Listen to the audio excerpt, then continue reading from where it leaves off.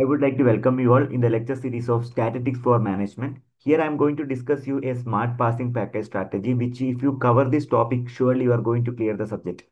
So I'll be making you the simple idea how to clear the subject because most of the students are facing difficulty in this subject. So it is very simple. So you please follow this strategy. Surely you can uh, crack the examination without any issue.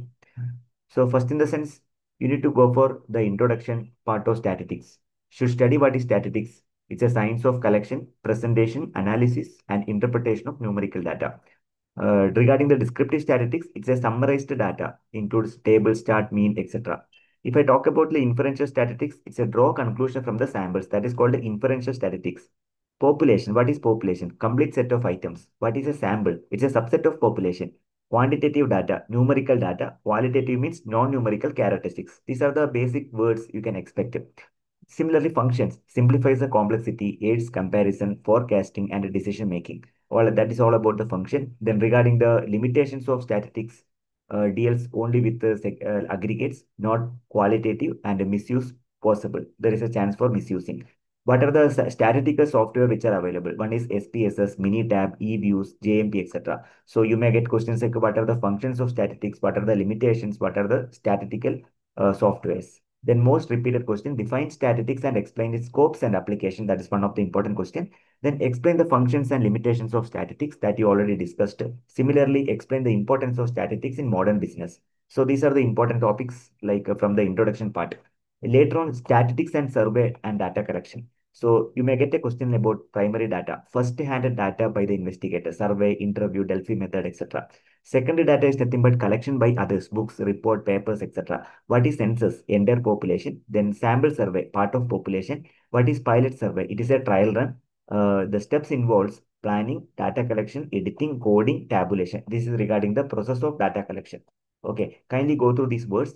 Probable questions are difference between primary and secondary data. Explain the steps of statistical survey. These steps you can follow. Similarly, what is a pilot survey and importance? It's a trial run and you have to explain the importance. So regarding uh, classification, tabulation, and presentation, the key concept you are supposed to follow like uh, what is a classification? Arranging the data into classes. What is tabulation? Presenting the data into tables. What is frequency distribution? Distribution of observation by class intervals. What is diagrammatic representation? For example, pie diagram, bar diagram, histogram, pol like a polygon, ogive. These are the different type of diagrammatic representation. Regarding the formula note, ogive which will give used to find the median and percentage. What is the purpose of ogive? So those things you have to remember. Distinguish between classification and tabulation. Draw the frequency, polygon, and histo histogram. What are the requisites of a good classification? These are the important questions which is evergreen. So regarding the important like a formula, measure the central tendency. There is a formula for computation of arithmetic mean, median, mode, geometric mean, harmonic mean. These formulas are very, very important. Okay. Kindly request you to study this formula accordingly. So make it out individually what is arithmetic mean. Sum of observation divided by number of observation. Like that median formula is available, mode formula, geometric mean and harmonic mean. Those things you have to uh, discuss. So next one is uh, regarding uh, like dispersion uh, there is a like uh, what is a range? Difference between maximum and minimum. What is a qd q3 minus q1 divided by q2 it's a middle of 50 percentage variation. What is mean deviation? Uh, similarly what is standard deviation? Uh, square root of x minus x bar the whole square by sample number of samples. Uh, it is reliable uh, used for a reliable measure. What is cv like a, a standard deviation by mean into 100 so lower cv means more consistency. So please do remember those things uh, compare mean, median, and mode. You may get a problem also. Define standard deviation and its uses. Define the coefficient of variation and significance. These are the important topics. Probability and a probability distribution. What is probability? Likelihood of events. That means favorable cases divided by total number of cases. Conditional probability. Probability of A on B, nothing but probability of A intersection B by probability of B. What is a Bayes theorem? Posterior probability formula. That is actually the working of Bayes theorem. So binomial distribution. Formula you have to remember. So it is used for the two outcomes are there. Then Poisson distribution. This is another formula for Poisson distribution. e to the power minus m, m to the power z divided by x factorial. So it is actually for rare events, especially like uh, uh, how many number of accidents are happening in the air. So normal distribution, bell curve, mean is equal to median is equal to mode. So that is a peculiarity of like a, a normal distribution. Similarly, study the central limit theorem with respect to normal distribution. State and prove the addition and multiplication rules. Explain the binomial Poisson and the normal distribution with the help of numerical example. Regarding the sampling and estimation, study what is population, entire group, what is a sample, small part in the, inside the population. Sample is a subset of population. Population is a superset of sample. Sampling error, difference between the sample and the population. What is CLT? Sampling distribution tends to normal. That is called a CLT. Central limit theorem then point estimate, single value estimate, what is inter interval estimate, range within the co confidence level. These are the important key points you have to remember as a like uh, tips or what I can say, tips for clearing the examination.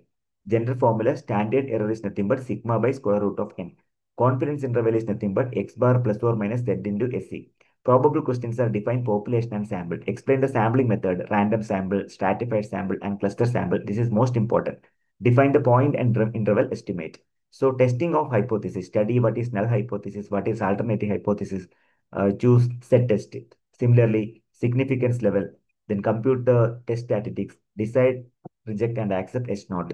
Similarly, what is a z-test? It is suitable for where there is a large sample. If the number of samples greater than 30, go ahead with the z-test. If the number of samples less than uh, 30, go ahead with the t-test. Regarding the chi-square test, independent like uh, independence by goodness of fit.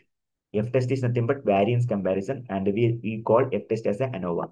Similarly, repeated questions are explain type 1 and type 2 errors. Difference between uh, one-tailed and two-tailed test. Steps in uh, testing the hypothesis. These are the most important questions which are given based on the repeated uh, frequencies. Then correlation and regression. So study this terminology. Karl's Pearson, then rank correlation, regression evaluation. Similarly, the repeated questions for these topics are define the correlation and its types. This is very important. Difference between correlation and regression. Uh, then compute Karl Pearson coefficient. You may get a numerical questions. These are the most probable questions. Uh, whenever there is a probable, like a numerical example, try to uh, study the equation properly, try to apply the formula, then rank correlation formula also you have to remember. So regression equation, these formulas you have to remember by heart. So another question is ANOVA, chi-square test and F-test. So formula is available uh, of O, o like uh, O divided by E, the whole square divided by E. Uh, so uh, uh, this is very, very important. Then uh, F is the variance between sample by variance within the sample. Repeated questions are explain the applications of chi-square test. This is a formula for chi-square test. So accepting the hypothesis and rejecting the hypothesis can be done based on this. What are assumptions of ANOVA? That is also very important. Uh, steps for solving the size chi-square problems. So regarding the time series and index number, from the time series, you will be getting the questions like write a short note on trend, seasonal, cycle, irregular, etc. So what are the different methods applicable for the time series analysis? Freehand method, semi-average method, moving average method, least square method. You may get a essay type questions. Regarding the index numbers, what is an index number you have to remember? Uh, similarly, simple aggregate, weighted aggregate, cost living index. So these formulas also you have to remember. Uh, simple aggregate is nothing but sigma p1 divided by p0 divided by 100. So probable questions, components of time series, methods of constructing the index number, what is what is cost living index. So these are the important questions which is asking evergreen examination. Every type of examination, you can see these kind of questions. So based upon the frequency and the number of uh, times the questions appeared, we have uh, 10 marks probable questions are available. One is explain the role and importance of statistics in the management. Very important. Difference between primary and secondary data. With help of example, explain the steps of statistical survey. Describe different measures of central tendency with the merits and demerits. What discuss the probability distribution and the applications. Similarly, explain the steps involved in the hypothesis testing. Explain the correlation and regression analysis with the example. Even you have to add the equations as well. Discuss components and methods of time series analysis. So explain the construction and uses of index number. What is index number? What are the classification?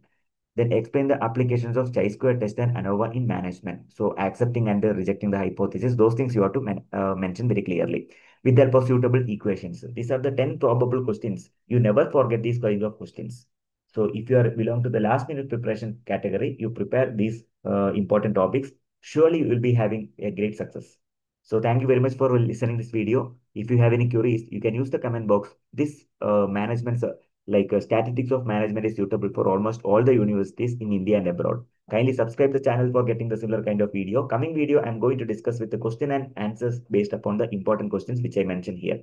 Kindly like the video if you found it is useful. Kindly share the video those who are preparing for the examination. Also give your valuable comments for the betterment. Happy learning. I wish you all the very best. You can prepare accordingly whatever I suggested. Uh, there is no other issue. You can clear the subject without any issue. Thank you all.